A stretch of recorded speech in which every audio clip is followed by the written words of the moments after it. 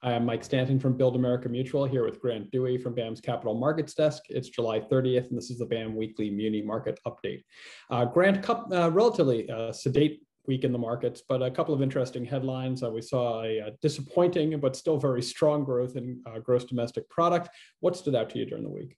What stood out was what you just touched on, which is, you know, we did take a bit of a breather from what's been a very impressive, you know, bond rally over the last few months. So uh, uh MMD, AAA MMD were essentially unchanged for the week. Uh, that the Treasury 10 year and the 30 year will probably end the week a little bit lower than where we started based on some strength this morning. But I think that you know the financial markets were focused on um, on the Fed and the statement and Powell's remarks, and, and the market took it all pretty much in stride. The Treasuries dipped um, a little bit initially, uh, as did stocks, but but uh, that was all reversed uh, later on. So we've got um, the 10 year, uh, you know, has been little change for the week, just right around that 123 type level. So yeah, the statement acknowledged that.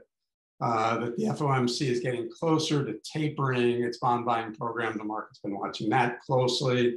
I think um, Powell has, uh, you know, if anything, has uh, over communicated. Um, there's a concern that anything too abrupt um, could uh, could spook the market, which uh, the market feels unspookable these days. But uh, and also, you know, with regard to the spread of the coronavirus, uh, the Delta variant, he expressed the view that um, that uh, that wave is probably not going to have as big uh, an economic impact as the previous waves, and so he said that wouldn't have much impact on the timeline for tapering. Um, so that was uh, fairly benign. And, and um, also said, you know, which he's been continuing to say, which is the uh, Fed sees the current high inflation readings, and we have been seeing a pretty steady diet of above trend numbers there. Uh, that um, you know they feel it's it's transitory or kind of a shorter term thing. So um, it's it's all a way of saying is the market still uh, is very comfortable with um, with the Fed's stance and, uh, and, with the liquidity that is being uh, flooded into the market, uh, and and munis are are right in step with that. We've had 20 straight weeks of, of significant inflows, and that's really kind of given very broad support to the market. Uh, I will say that were probably, uh, you know, given the relatively high valuations, there are deals uh, that do struggle uh, in the market. There are structures that, uh, you know, lower coupon structures that, uh, you know, continue to uh, to struggle a little bit. So there is some kind of what I guess I'd call rate shock, and and the market is, you know, there's plenty of cash on the sidelines, but I think investors are being a little bit more selective. So. And as you said, this week in the new issue market, the total calendar was a little bit lighter than we'd seen. It was back down uh, below $10 billion for the week. Uh, another strong week for BAM, though, $340 million plus of uh, transactions priced. And uh, interestingly, that was uh, from some success in the competitive market as well as negotiated transactions. BAM's largest deal of the week was uh, the Suffolk County transaction, $85 million. In the competitive market, it was purchased by Jefferies, and BAM insured that. Um, on the negotiated side, uh, the Kentucky State University transaction that we were watching for a couple of weeks came to market at $50 million from KeyBanc Capital Markets and La Mesa Spring Valley School District in San Diego County at $48 million. That was an RBC Capital Markets transaction. Um, what kind of feedback did you hear from investors on those uh, transactions? Yeah, I think um, uh, you know, Suffolk uh, did well, as La Mesa uh, was priced yesterday. The Kentucky State University deal got a lot of attention, saw a ton of interest.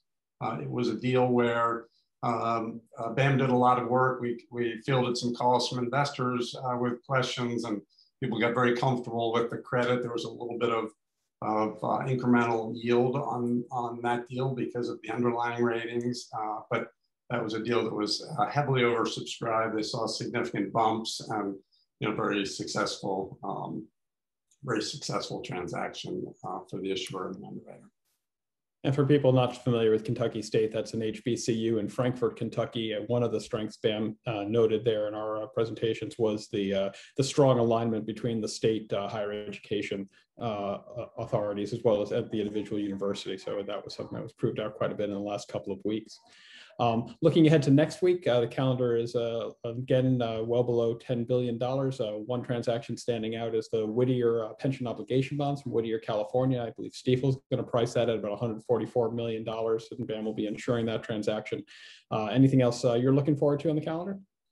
The um, yeah, it's it's interesting. We uh, these pension ob deals that are you know they're um, relatively highly rated, but uh, we do have um, uh, several investors uh, that um, uh, that essentially look for the BAM insurance just as kind of a belt and suspender on those credits. So as you point out, that is uh, that is a highlight for next week.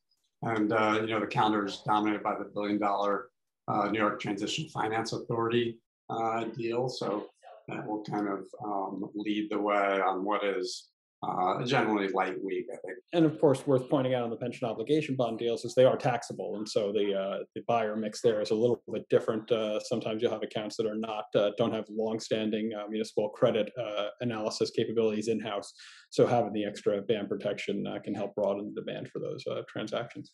Yeah, exactly. So a lot of international, several international investors are are consistent buyers of those. Great. Well, thanks for your time, Grant. We'll uh, we'll talk to you next week. Thank you, Mike.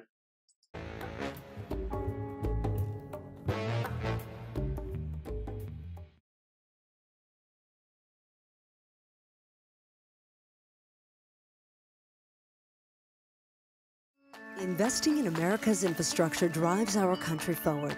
Municipal bonds help strengthen America's backbone and connect us all through essential investment in local opportunities. At Build America Mutual, we maximize the safety and stability of municipal bond investments.